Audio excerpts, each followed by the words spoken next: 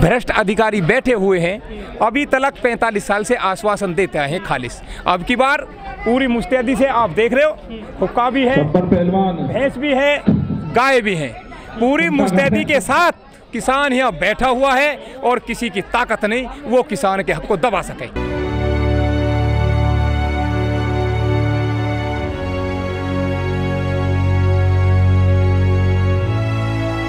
अगर कोई भी गाँव में घुसने जाएगा तो गाँवों में हम भी तो आचार संहिता लगाएँगे ना। किसानों के पास भी तो अधिकार है। किसी को नहीं बढ़ने देंगे वोटर के लिए हम भी आचार संहिता का आपके लगा के दिखा देंगे आचार संहिता कैसी होती है।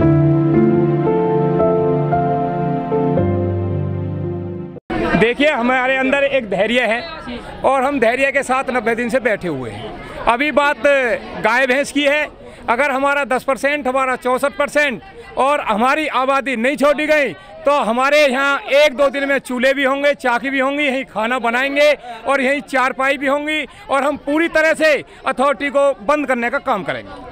तीन महीने से आंदोलन कर रहे हैं कुछ असर पड़ रहा है अफसरों पे? देखिए इनसे हमारी कई दौर की वार्ता हुई है।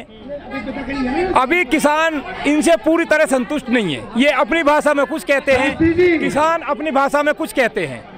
आज हमारा एक प्रतिनिधिमंडल नखलऊ गया हुआ है। अगर वहाँ से हमारी कोई सकारात्मक बात नहीं बनी अगर हमारे हक की बात हमारे हक में नहीं आई कोई बात तो हम पूरी तरह से अथॉरिटी को नहीं खुलने देंगे कतई। तो नुकसान होगा ना प्राधिकरण का भी। तो हमारा तो नुकसान इससे हमारा ज़्यादा क्या नुकसान होगा? हमारे घर छीन गए। प्राधिकरण किसानों के लिए बनाया गया है आज किसानों के पास घर भी नहीं है। आम आदमी को दिक्कत हो रही है काफ़ी अफसर का काम नहीं कर पा रहे हैं। देखिए आम आदमी से हमारी कोई उनको पीड़ा देने की हमारी कोई उस तरह की नीति नहीं है। लेकिन आखिर हम क्या करें? हमारी पीड़ा है हमारे घर छिन गए हमारे पास अपने घर के भी अधिकार नहीं है। किसी को अपनी बेटी की शादी करनी है किसी को बच्चे की फ़ीस देनी है। आखिर हम क्या करें? गाजीपुर में आंदोलन चल रहा था एक साल से उसका आंदोलन खत्म हो गया है करीब करीब। उनकी बातें मान ली गई हैं। आपकी बातों में जो है क्या अधिक किसान कमज़ोर है क्या के देखिए अलग अलग मांग होती हैं। वो भी किसान की ही मांग है, ये भी किसान की मांग है। वहाँ किसान की जीत हुई है। अभी एमएसपी पे कानून बनाना वहाँ भी बाकी है। वहाँ भी एमएसपी पे कानून बनेगा और यहाँ भी अपना 10 परसेंट भी लेंगे अपना चौंसठ परसेंट भी लेंगे अपनी आबादी भी छुटवाएँगे और नक्शा नीति को भी ख़त्म करवा के ही ये वापस जाएँगे किसान। एक प्रतिनिधिमंडल हमारा आठ लोगों का आज सुबह गया है और लगभग चार बजे हमारे किसानों की वहाँ हमारे औद्योगिक मंत्री सतीश महाना जी के साथ हमारी आज वहाँ वार्ता है। अच्छा चुनाव आ रहे हैं 2022 में वोट भी लेना है पार्टी को कई पार्टी को।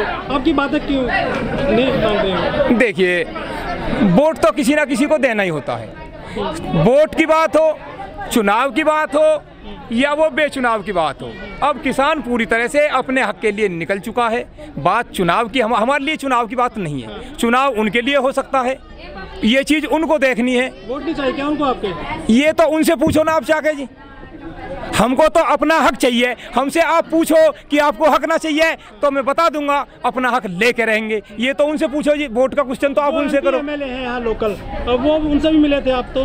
हाँ कई बार उनसे हमने घेराव भी करा है उनका। आश्वासन मिले हैं अभी तक लेकिन किसान पूरी तरह से अड़े हुए हैं। अब की बार आश्वासन नहीं।